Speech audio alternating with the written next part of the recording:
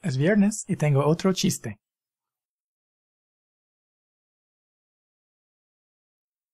¿Qué le dice una pared a otra? ¿Qué le dice una pared a otra?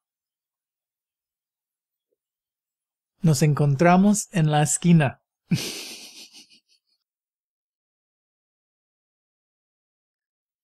¿Qué le dice una pared a otra? What does a wall say to another? Nos encontramos en la esquina. We find each other in the corner. It's kind of like saying, hey, we'll meet up in the corner. Or see ya in the corner.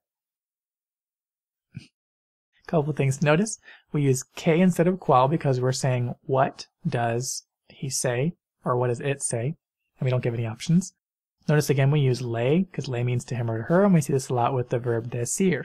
So what does he say to him or to her, the other wall? Also notice that we say otra here and not otra pared because we've already established that we're talking about walls.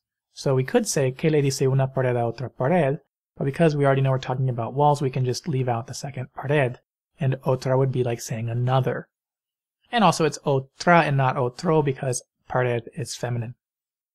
And finally, we notice that nos encontramos, it's from the verb encontrarse, and it's like saying we encounter one another, we find one another, we meet up, okay, or we meet.